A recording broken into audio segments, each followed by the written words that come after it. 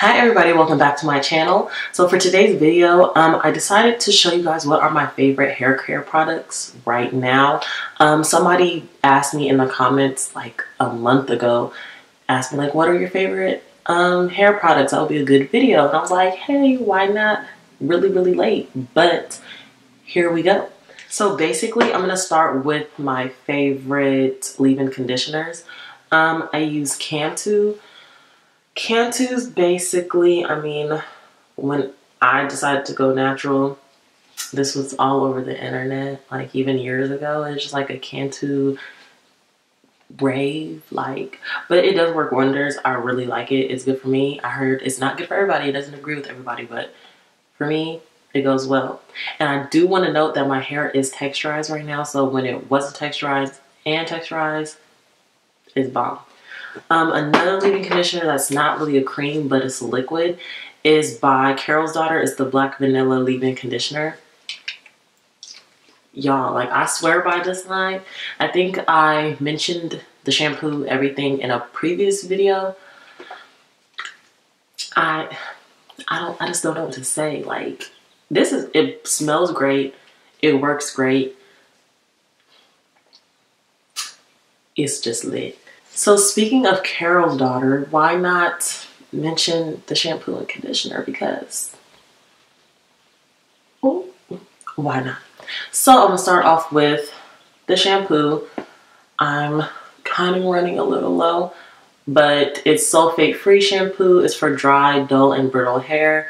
It's also the black vanilla line. Like I said before, like it's just lit. It just it just works. You have to try it. I'll put my mom onto it. She love it. We don't have good luck with hair care products. And I tell you, this right here, dog, this right here is lit. Now this conditioner is like better than shampoo. I don't know. The conditioner is just life. Like it's all gone. I need to head to Target after this. Um, also the Black Vanilla line.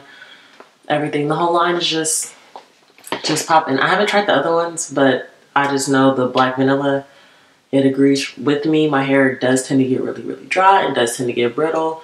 When I had a relaxer, after my relaxer, with a texturizer, natural, all that stuff. Like my hair just dry. And it's great. Just, just pop it. Great. So now I'm to mention curling creams and smoothies and all that good stuff for to get the curls activating, percolating, all that stuff. So what I have here is the famous, and I do mean famous, Shea Moisture, Shea Moisture Curl Enhancing Smoothie. Everybody and their mama kids, kids, kids, kids, and grandpas and aunties know about this. Um, I don't even know what to say. Like, it does work for me. I don't put it in my hair every day. Um, but it does like it works with me when I put the Cantu in first and then I go in with this it does get the curls percolating activating. So and it's moisturizing so get it. My next one that I didn't think that I would like I didn't like it the first time but I've been digging this is the carrot KeraCare carrot care defining custard for curls and coils I put this in after I texturized my hair. My hair came out so bomb. Like, I took pictures of it. I was just like, I was really feeling myself. I've been using it like today. All I have is my Cantu and my Carol's Daughter leave-in conditioner and this and my gel that I'm gonna talk about next. And I think I'm having a good hair day if I don't say so myself. So I really recommend this stuff. I don't know how much this costs. I kind of sold it from my mama. But this right here, dog, this right here, worth every penny. Oh, and before I forget, I have to mention the Miss Jessie's Coily Custard. It's all gone too. That's why I'm using the KeraCare. Both great products. This is, it's everything. Honestly, I was putting this in my hair before my hair was texturized and I love it. It really just it holds your curls in place. It makes your curls just look bomb, like bomb. Favorite stuff. It can get a little pricey, I'm not gonna lie. That's why, you know, I read up on it, you know, you know what I'm saying? But definitely worth it. I'm gonna have to invest in another bottle because it does work. So to get into gels and what are these things called? Edge controls. My favorite gel is the Handy Dandy Eco Styler. I use the olive oil. I'm gonna get my hands on the castor oil one. I just want it because it looks sparkly in pictures. Like, yeah, I'm that person. Like, it just looks cute. So that's why I want that one too.